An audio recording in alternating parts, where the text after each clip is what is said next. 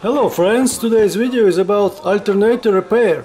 This alternator stopped working, not charging, but don't know cause. We tested the circuit for continuity and all circuits and diodes are good. Collectors rings are good too.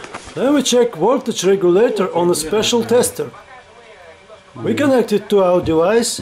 and a certain voltage regulator should shut the circuit. We see it when red lamp is off. You see? It's off. It's working. Light go bright and turns off. That's mean our voltage regulator is working properly. Next we're gonna clean collector's rings cause uh, they burnt a little.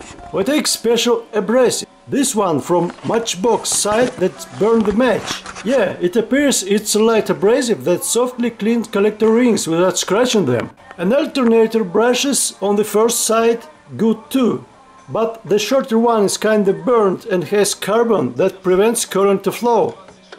So we changed this faulty brush and now we're gonna test this alternator on a special testing device that emulates a car electrical system. It has motor with belt to alternator, battery and even dashboard charge indicator lamp. So we started it and it works. Voltage is good, more than 14 volts. We tested with load and checked the voltage.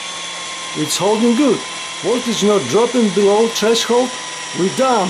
Subscribe and thumbs up.